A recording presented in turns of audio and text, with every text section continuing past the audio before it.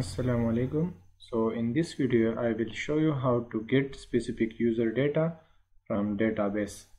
Now let's see the example.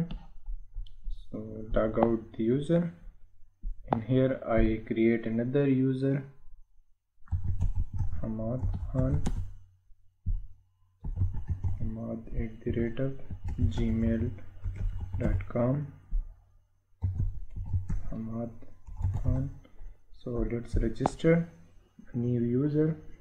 Now go to the driver. So it will show all the user. And also create another user.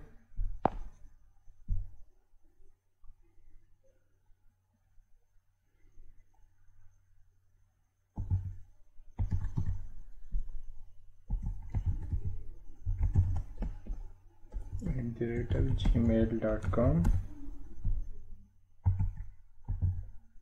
Ishaq on. And click the register. So it will show all the user which is present in the database. So now we have to show only specific user data which is currently logged in. So for that I use the auth variable. So here auth service equal to auth service equal to auth service. Now here inside the stream property inside the stream builder here I use where property where uid is equal to where uid is equal to auth service dot auth dot current user dot snapshot. So it will only show that current user which is currently logged in.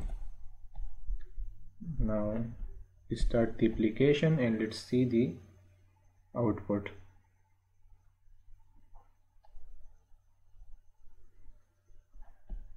Let's see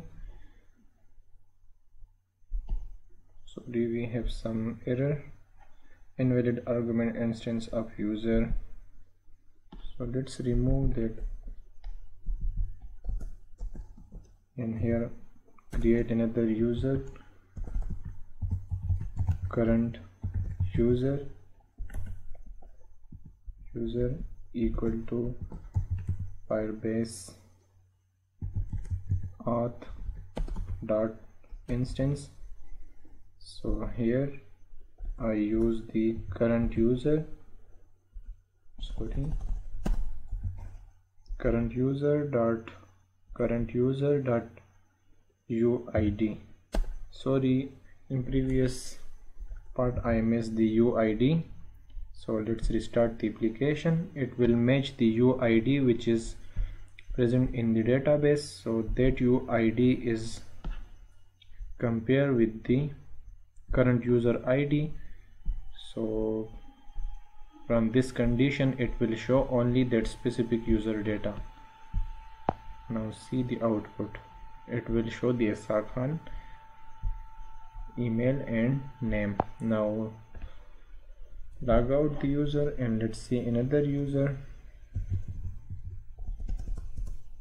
So about at the rate of gmail.com Mm, here also use password of Ibad Khan and log in so it will show my data. Let's see. And also here we have three users so one is Ishaq Khan and one is Hamad Khan. So now